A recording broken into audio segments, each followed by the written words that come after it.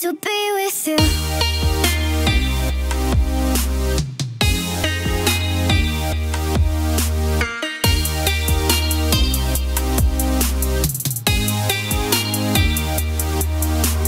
Hallo und willkommen zu einem neuen Video von mir.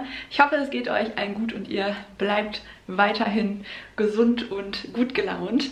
Und ihr habt euch von mir neben jeder Menge Vlogs und What I Eat Videos Rezepte-Videos gewünscht. Und weil wir ja alle momentan mehr Zeit als normal zu Hause haben und diese Zeit sehr gut zum Kochen nutzen können, möchte ich euch natürlich mit so vielen leckeren Rezepten wie möglich versorgen. Und ihr seht schon, ich stehe in meiner Küche und deswegen habe ich heute ein sehr leckeres Rezepte-Video für euch mit drei veganen Sachen. Sachen sage ich, weil es sind zwei herzhafte Gerichte und ein Rezept für ein ziemlich geniales veganes Bananenbrot, weil jeder momentan macht ja Bananenbrot und da dachte ich, den Trend, den kann man mir mitgehen, weil Bananenbrot ist einfach zu lecker, auch wenn es jeder macht, es ist einfach lecker. Deshalb gibt es von mir heute mein persönliches Lieblings-Bananenbrot-Rezept. Aber auch die anderen zwei äh, Gerichte solltet ihr auf jeden Fall mal ausprobieren. Ihr findet alle Rezepte in der Infobox. Die Sachen sind sehr leicht zu machen und sind einfach genial lecker. Und falls ihr noch nicht eure Liebe zum Kochen entdeckt habt, dann ist momentan genau die richtige Zeit dafür. Deswegen wünsche ich euch ganz viel Spaß beim Zugucken. Ähm, gebt mir gerne einen Daumen hoch, folgt mir bei Instagram. Ähm, falls ihr noch nicht den Kanal hier abonniert habt, dann tut das auch gerne. Und schickt mir auch gerne Fotos, wenn ihr die Sachen nachmacht. Und jetzt rede ich gar nicht weiter. Ich wünsche euch viel Spaß und wir sehen uns. Los geht es mit diesem leckeren veganen Mac and Cheese Rezept und ich sag euch, auch alle Käsefans unter euch werden diese Nudeln mögen. Und dafür braucht ihr Cashewkerne, die übrigens super geeignet sind für jegliche veganen Soßen. Dann braucht ihr Kokosmilch, eine große Kartoffel, eine große Möhre, eine Zwiebel, Hefeflocken, die übrigens vollgepackt sind mit guten Nährstoffen und Vitaminen und Nudeln. Ich habe mich hier für die Kichererbsenfussi von Koro entschieden. Die mag ich persönlich super gerne und sind dafür auch noch super ballaststoffreich und proteinreich. Und dann braucht ihr noch ein paar Gewürze und zwar Salz, Knoblauch, Pfeffer und Paprika. Los geht es mit den Cashewkernen, die ihr am besten für mindestens eine halbe Stunde in heißem Wasser einlegt, damit die schön weich werden. In der Zwischenzeit könnt ihr euch schon mal um das Gemüse kümmern. Hier zum Beispiel schon mal einmal die Kartoffel schälen und in kleine Stücke schneiden in einen Topf. Das gleiche macht ihr mit der Möhre und das Ganze wird jetzt erstmal ein bisschen weich gekocht für, sagen wir mal, 20 Minuten.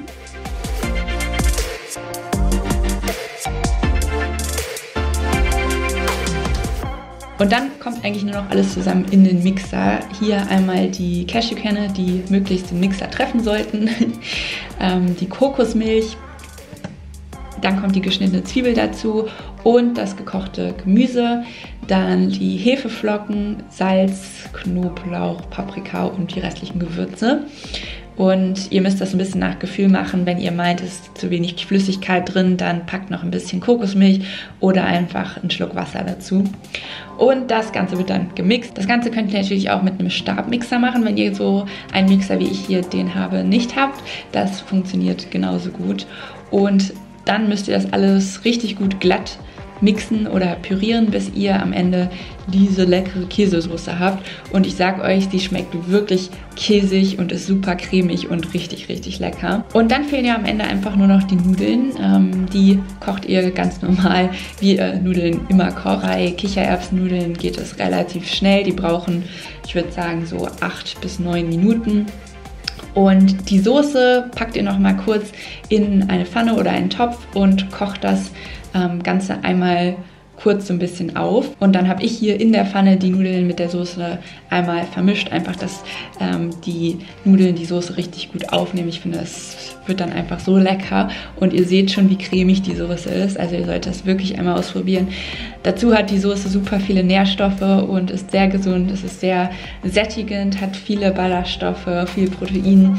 Und ja, das Ganze kann jetzt angerichtet werden. Ich habe hier unten in meinen Teller noch ein bisschen Spinat reingemacht. Ihr könnt die Soße natürlich auch super gut noch mit ein bisschen anderem Gemüse aufpimpen, wie zum Beispiel Pilzen oder Brokkoli oder Zucchini, was ihr mögt. Das Ganze habe ich jetzt noch getoppt hier mit Frühlingszwiebeln und das ist auch schon das erste fertige Gericht. Und ich sag euch, es ist unglaublich lecker und cremig. Und man kann sich einfach reinlegen und es ist so ein richtiges Comfort Food, finde ich. So, weiter geht es mit einem Rezept, das ich so ein bisschen für mich entdeckt habe, seitdem ich vegan lebe. Und zwar ist das Tofu Scramble. Ihr braucht ein Tofu. Ich habe hier Räuchertofu von Koro, dann Kurkuma, ähm, Kurkuma ist bei dem Rezept gerade für die Farbe verantwortlich, ist aber auch, was ja momentan sehr wichtig ist, ähm, sehr entzündungshemmend und ähm, ja, ist einfach super gesund und eigentlich sollte man jeden Tag äh, Kurkuma in seine Gerichte einbauen. Und dann die Zauberzutat dieses ähm, Gerichts und zwar ist das Kalanamak Salz und dieses Salz hat einen ganz irren Eigengeschmack. Und zwar riecht und schmeckt das ganz stark nach Ei und wer also diesen ganz besonderen Eigeschmack äh, kreieren möchte, der sollte sich dieses Salz einmal anschaffen. Und das ist wirklich irre. Außerdem braucht ihr noch Knoblauch, Paprika und dann könnt ihr das Ganze natürlich erweitern mit jeglichem Gemüse, das ihr mögt. Zum Beispiel Tomaten, Pilzen, ähm, Spinat, was auch immer. Und dazu mache ich mir immer noch gerne Avocado und ein bisschen Brot. So, den ersten Schritt hat meine Kamera äh, netterweise direkt einmal übersprungen und irgendwie nicht aufgenommen, aber es ist gar nicht schlimm. Ich habe hier einfach den Tofu einmal so ein bisschen ausgepresst und ihn dann einfach mit der Hand hier so klein gebröselt. Und dann kommen die ganzen Gewürze dazu. Hier einmal Kurkuma, das am Ende dem Rührei diese gelbe Farbe verleiht. Dazu kommen Paprika, Knoblauch und das Kalanamak-Salz bzw. das ganz normale Salz. Und das vermischt ihr dann einfach alles gut. Das Rezept geht übrigens im Ganzen super schnell und man kann es innerhalb von 10 Minuten sich fertig machen. Und ähm, es schmeckt morgens, mittags und abends gut, kann ich euch sagen. Als nächstes nehmt ihr euch eine Pfanne und erhitzt darin ein bisschen Olivenöl.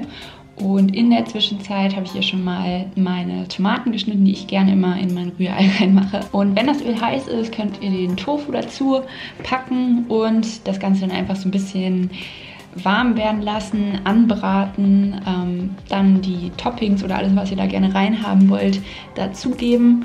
Und ja, ich würde sagen, so 10 Minuten in der Pfanne ein bisschen anbraten. Und dann ist das Ganze auch schon fertig. Ich esse es hier super gerne mit ein bisschen Vollkornbrot und einer Avocado, die ich mir hier so ähm, in kleine Spalten schneide und einfach mit auf den Teller gebe.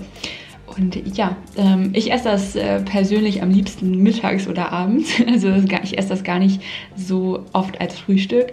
Aber ich finde, es ist einfach ähm, ein super leckeres, herzhaftes, veganes Gericht beziehungsweise eine vegane Frühstücksvariante, wenn ich mal nicht immer Porridge esse.